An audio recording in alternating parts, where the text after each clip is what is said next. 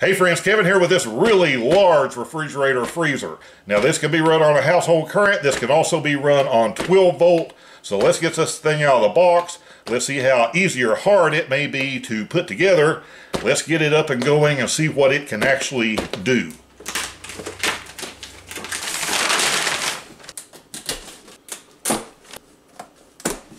It looks like they thought this out pretty well because with the straps off, this top will just lift off.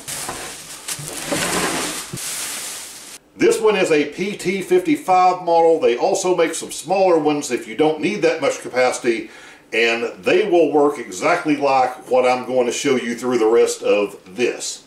Now I own two other 12 volt refrigerators and I've camped with people using a lot of different brands. One thing I can tell you that's different with this is this actually has latches built into these lids. Most of them don't. They just close. So this is very secure. And these will open up just like this. So you have a small side and a side that's a bit larger. And the great thing about that being a dual zone is you can have a an entire section for a refrigerator and one section for a freezer. And you can actually choose which one of these it's going to be. In addition, you could just make both sections into a freezer or both into a refrigerator.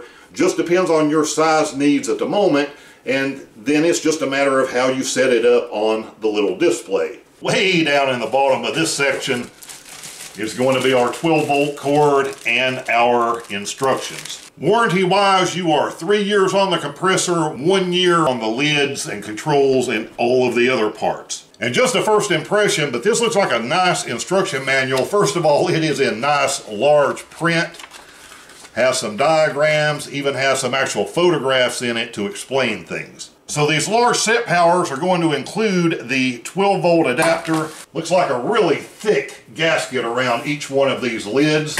Okay, so with nothing to really assemble, let's get this thing going. There is only one way to plug this in, so you can't do it wrong. Plug in on the side.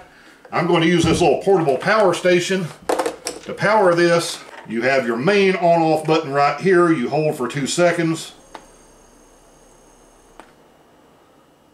Off, back on. I really like that they have individual buttons for a lot of these functions because I have used these and I've camped with people with different brands that they have two buttons and they have five features trying to be worked with those two buttons. So this is laid out pretty well. You have your compressor speed either on max or a minimum, which is an eco mode. You have battery protection, which doesn't matter plugged into a power station, but if you were having this plugged into your vehicle, this is to make sure that you can't get your main battery down so low running this all night that you would not be able to start your vehicle the next morning. This temperature right here that it's showing is the temperature inside of each one of these currently. So we can set this up any way that we want to but I'm going to basically use the right side as a refrigerator, the left side as my freezer.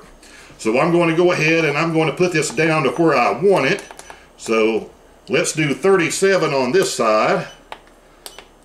Let's do about 10 degrees on this side. You can also switch this between Fahrenheit and Celsius. I'm going to leave it on the Fahrenheit setting. So this is the temperature now inside, of course, because it's new and we just plugged it in.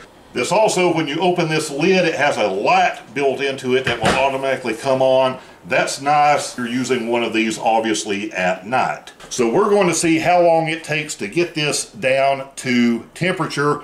We'll just leave this hooked up to our power station, get this thing down, and I'll be back. Okay, I went for a quick walk. I just came back. It is about 30, 35 minutes later, you can see we're down in the range of the temperature I had this set at on each side. That's pretty much it. Set it and forget it.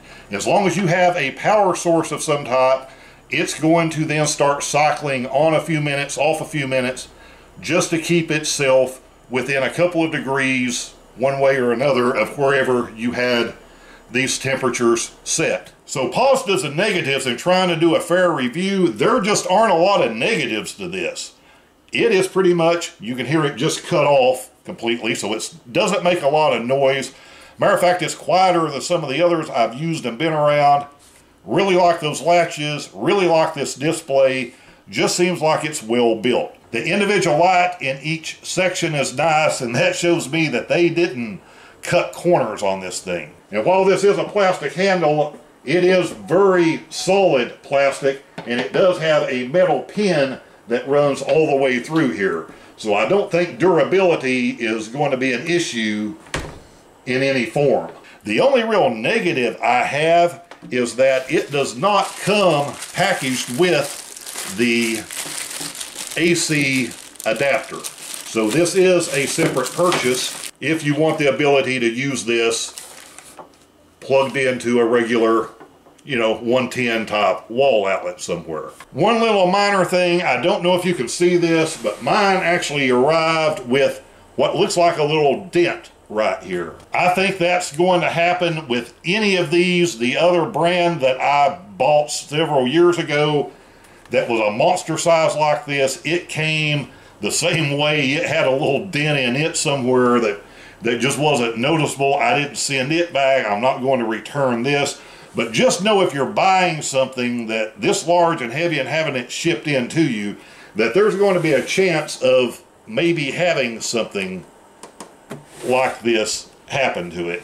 I have never had a dual zone version before where I can really set these, each one exactly the way I want it. So I hope that helps you out in deciding if one of these PT series PT35, PT45, or PT55 like this one might be the right choice for you.